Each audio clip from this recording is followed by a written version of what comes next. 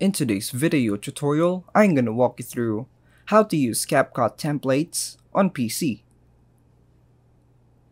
So, first things first, we must open the browser of your choice, then go to this CapCut.com, which if you are doing this on the CapCut website through the online editor, select the templates option on the top over here.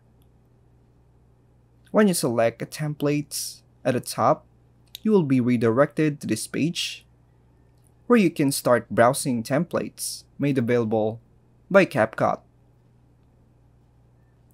Once you find one you really like, you simply have to click on it and it does have description of the templates and we must click this use test templates.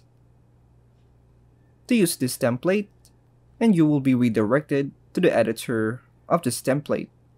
As you can see, it looks very similar to this one. And here you can change whatever you like to replace on the clips, replace the text, and you will be able to export by clicking here. And that's all for now folks. Thanks for watching.